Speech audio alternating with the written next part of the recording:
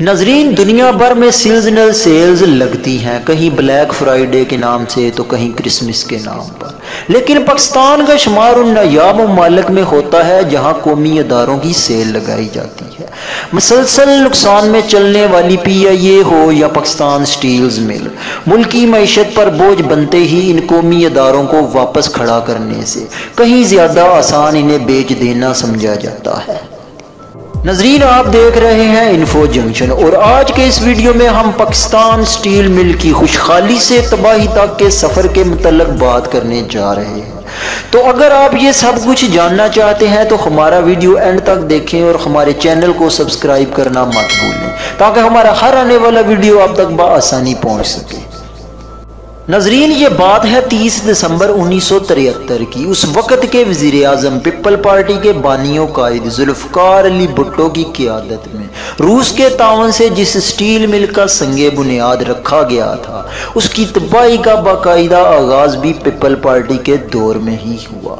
یعنی دو ہزار آٹھ میں مشرف دور کے بعد جب پیپل پارٹی نے اقتدار سنبھالا، تو وہ مل جو سال دو ہزار سات سے دو ہزار آٹھ میں سالانہ نو اشاریہ پانچ چار ارب روپے کا منافع دے رہی تھی، اچانک مالی بحران کا شکار ہونے لگی۔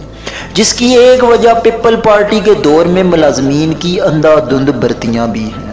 وہ سٹیل مل جسے چلانے کے لیے صرف نو ہزار ملازمین درکار تھے، وہاں پیپل پارٹی کے دور حکومت میں ملازمین کی تعداد ستارہ ہزار پر پہنچ گئی۔ ایک شاریہ ایک ملین ٹن سٹیل پیدا کرنے کے صلاحیت رکھنے والی سٹیل مل آج مکمل طور پر بند ہونے کے ساتھ ساتھ دو سو ارب سے زائد روپے کی مقروض بھی۔ ہے حکومتی نااہلی کہیں یا اداروں کے سربراہان میں موجود کرپشن کے ازدہوں کی کارستانی۔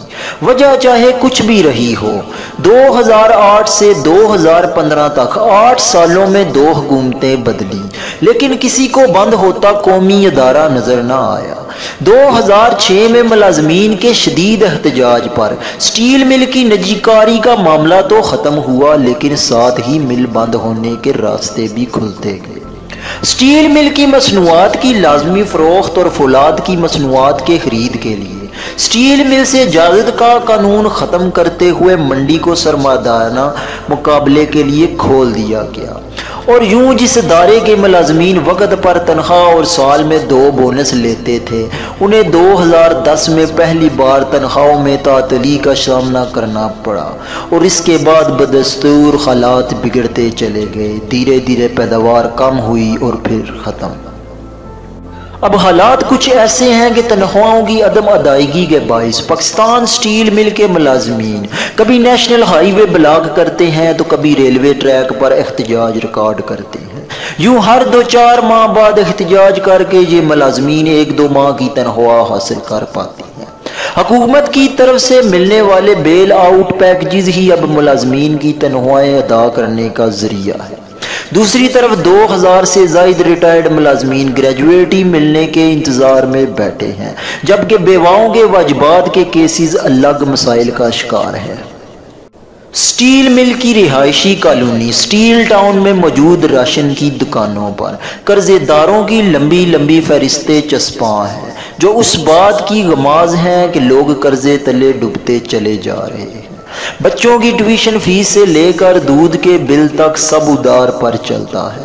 اس سے نفس مجروح ہوتے دیکھ نہ جانے کتنے لوگ دل کے عارضی میں مبتلا ہو چکے ہیں۔ کئی ایک خودکشی کے کیس بھی سامنے آئے لیکن حکومت نے نہ ایکشن لینا تھا اور نہ لیا۔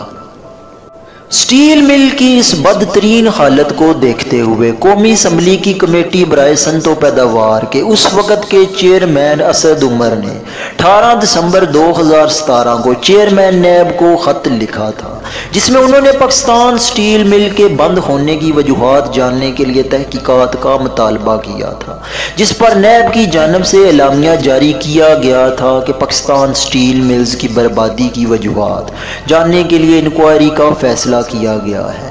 لیکن ناظرین، سوال یہ ہے کہ ذمہ داران کے نام سے ای سی ایل میں ڈالنے سے کیا ان ملازمین کے گھروں کے چولہے جل جائیں گے؟ کیا سٹیل مل کی بند پڑی بٹیاں پھر سے فولادی مصنوعات کی پیداوار شروع کر دیں گی؟ نہیں، کبھی نہیں۔ ان تحقیقات کے ساتھ ساتھ سٹیل مل کو دوبارہ چلانے پر بھی غور کرنا ہوگا۔ کیونکہ سٹیل مل کے بند ہونے سے کسی ایک یا دو کا نہیں، بلکہ ہزاروں گرانوں کے چولہے بجھ جائیں گے۔ اسی کے ساتھ ہم آج کے ویڈیو کا اختتام کرتے ہیں۔ اگر آپ نے ابھی تک ہمارا چینل سبسکرائب نہیں کیا تو کر لیں۔ ملتے ہیں ایک اور ویڈیو کے ساتھ، تب تک کے لیے اللہ حافظ۔